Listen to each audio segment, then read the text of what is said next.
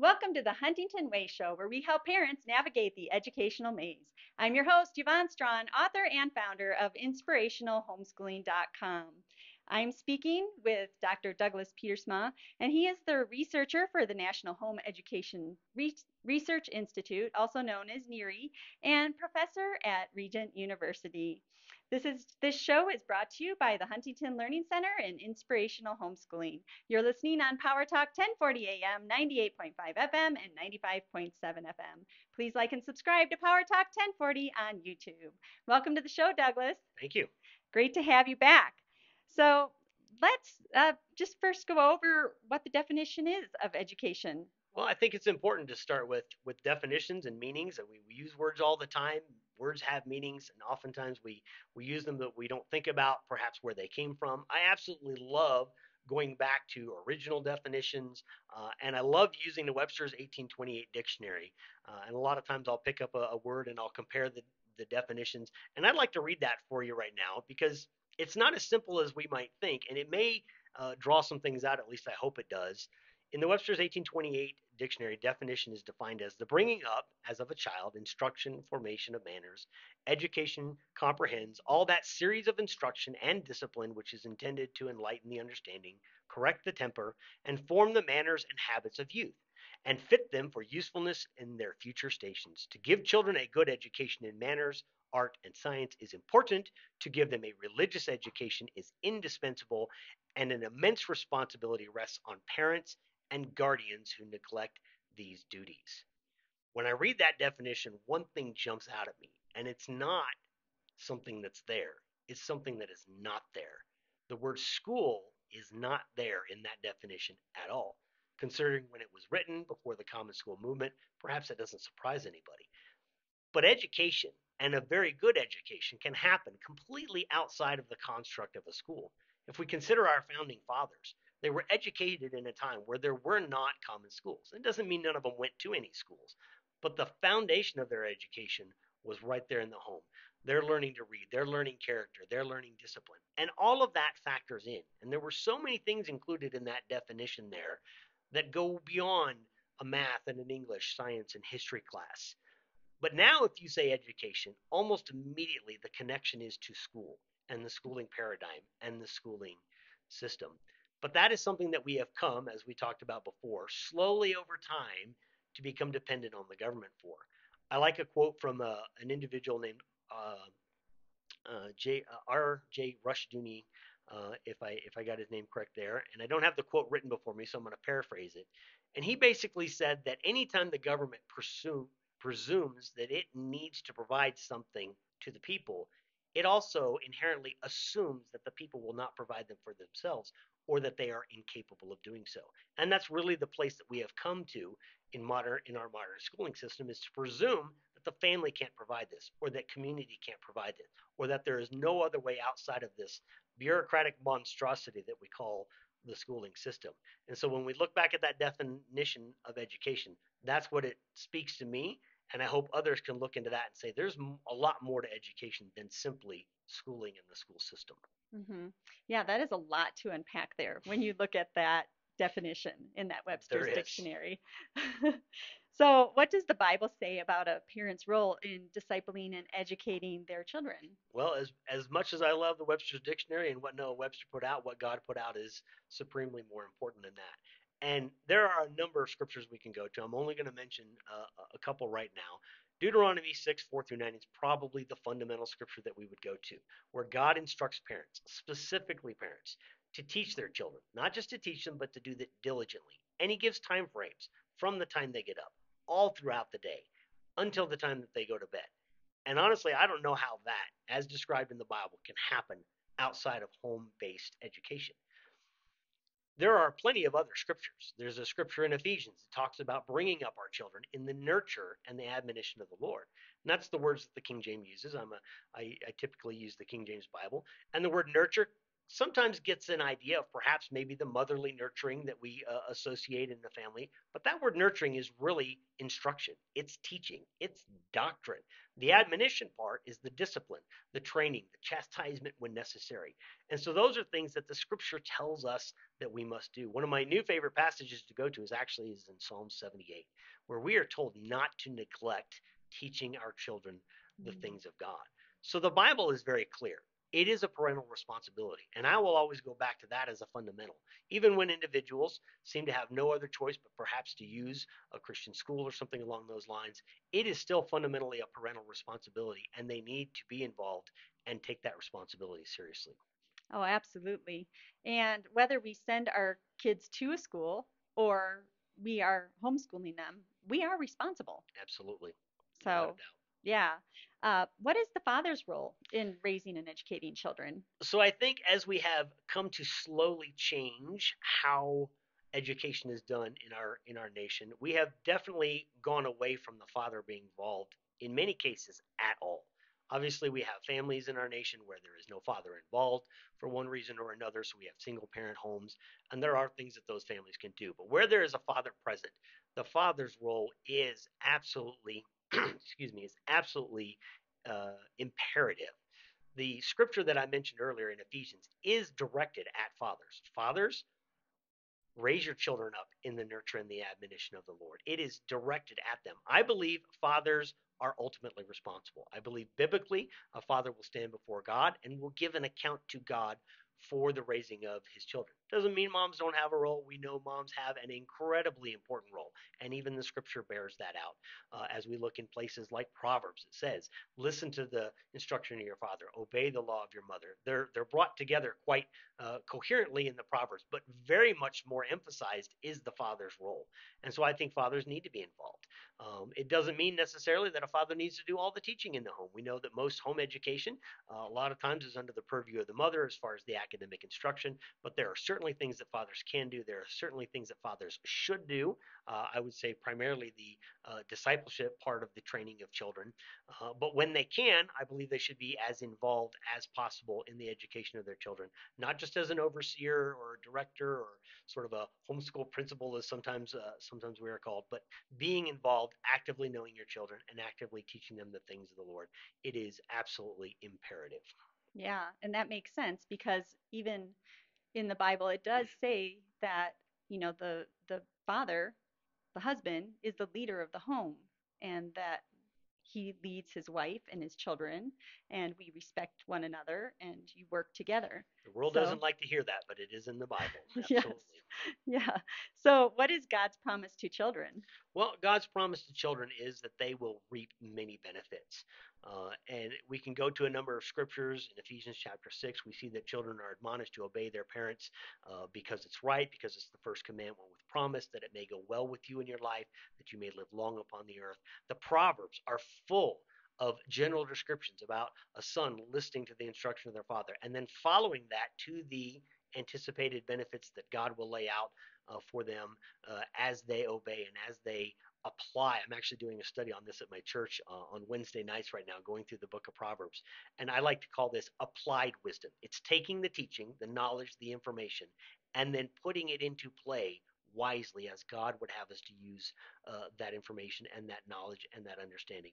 And that's how we can grow in our knowledge without becoming puffed up, because we know the Bible tells us also that knowledge puffeth up and it tends towards pride. But yet, when we apply it in wisdom, that is where God gets the glory from all that.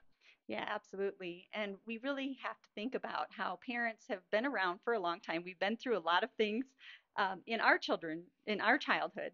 So when we are instructing our children, we are helping our children, it comes from a place of care and love. And we're going to try to do what's best and give them the best advice we have. So that also leads to them needing to listen and really respect parents. Absolutely. Yeah.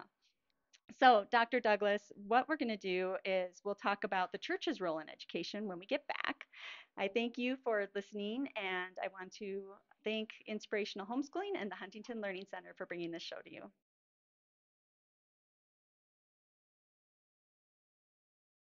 Welcome back to the Huntington Way Show. You're listening on Power Talk 1040 AM, 98.5 FM, and 95.7 FM. I'm your host, Yvonne Strachan, and I am speaking with Dr. Douglas Pietersma, and we are talking about who's responsible for the education of our children. So let's talk about what the church's role is in education. Well, when we take it from Scripture and we start from the from the position that the parents are responsible, the natural next question is, well, then what is the church supposed to do? Mm-hmm. And there is something that the church should do biblically uh, as we see it in Scripture. Uh, parents rely many times on churches to provide the discipleship instruction uh, for their children. And this has come through the forms of, uh, of things such as Sunday schools and youth groups and, and things of that nature. However, this is not necessarily what we draw from the Bible when we see biblical responsibility of the church. There certainly is a teaching role.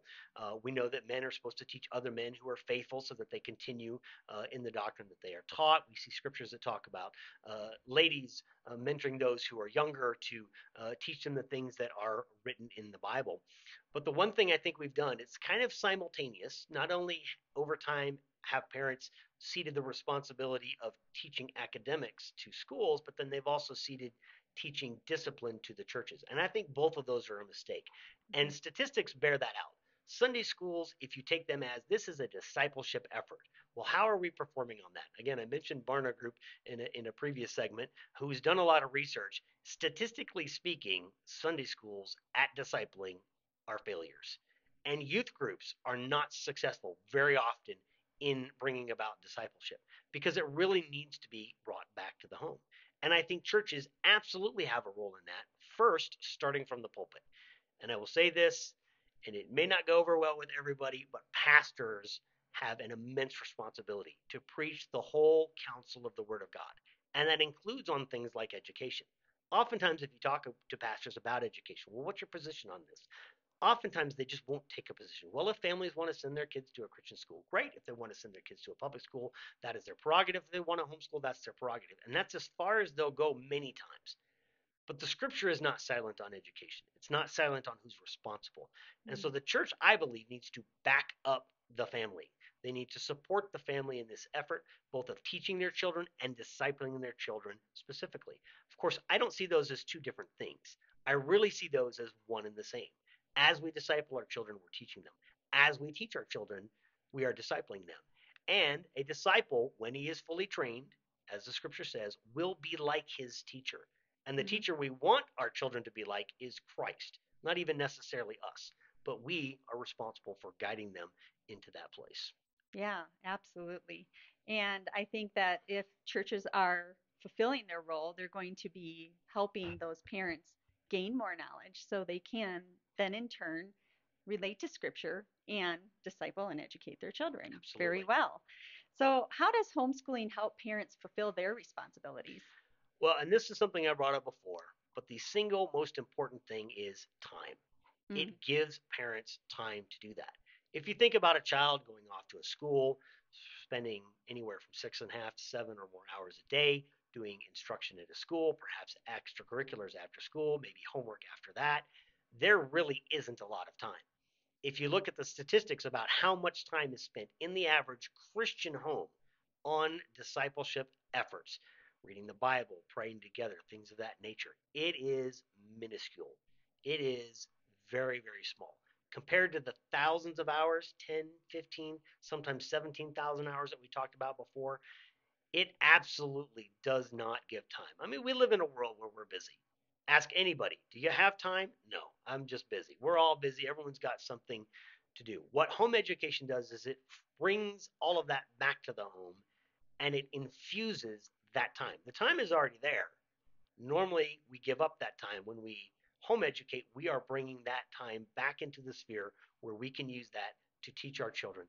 Gives us tremendous opportunities to see moments and in that moment to provide a biblical instruction to our child could be in the middle of an academic instruction. Let's pause and talk about how this applies to us in our faith, in God working in and, in and through our lives. So it gives us that time, it gives that opportunity, and it really is the only way I see where parents can disciple and teach, train, raise up all of those phrases that the Bible uses, and they don't have to be done as separate compartmentalized elements. They're all done together and simultaneously. Yeah, and I see that in my own home as I'm homeschooling my children. I mean, I'll have an opportunity to disciple them in whatever comes up, whether it's something that we're discussing in our reading class, in in what they would call an education class, or whether I am addressing sibling rivalry. I mean, I am there able to, you know, reference the Bible. What does it say about that? And really address the character and Absolutely. the heart issue from within. And nowhere can you do that best than at home. Right at home. So, yeah. And I think that parents do have the tendency to um, say, okay, well, check the box. This is taken care of. I've taken my child to a church and they are discipling them. So check the box, that's done. And so they don't think about, oh, well, I need to be doing this day and night. And if you're at home with them in home education, um, you're able to do that day and night. Absolutely. And you're not putting that responsibility really on anybody else. So I like to call that delegated responsibility. But unfortunately, nowhere in the Bible do we find an admonition that as parents we are supposed to or encouraged to delegate the teaching, training, or discipling of our children. Yeah, absolutely. So, what is your best encouragement for the homeschool parent who is hesitant to homeschool because they may feel anxiety over the idea of the responsibility of educating their child being fully on their shoulders? Absolutely. Well, the sarcastic side of me wants to say, join the club because right? I've been there, uh, which is simply to say, I understand. And if you ask just about any other homeschool parent who's been doing this for any length of time, they're going to say the same thing. I understand. Whether you're starting out in kindergarten and your child was never in a, a, an institutional school, or whether you're pulling them out of school, there is a huge amount of responsibility, huge amount of things that we need to think of, and it can be overwhelming. But this is what I tell parents you're not going to fail them.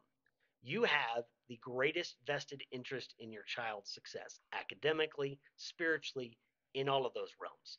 However, institutionalized school, you have a high probability that they will fail your children in one way or another. Perhaps they go to a school that just happens to be great at academics. There are going to be other things that you're going to say, well, they failed in this area. We talked about some of those before. Talk about the bullying, talk about the peer influence, and things of that nature.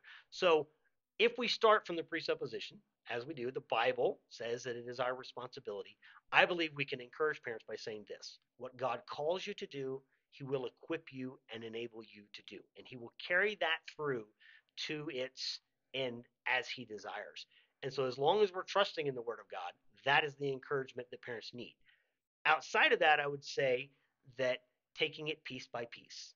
There is a lot to be considered, but if it's taken in small chunks, you take the, the biggest priority thing you need to solve first, you solve that, then you do the next one. Sooner or later, you realize it is actually something that you can accomplish, even though it may seem overwhelming at the beginning.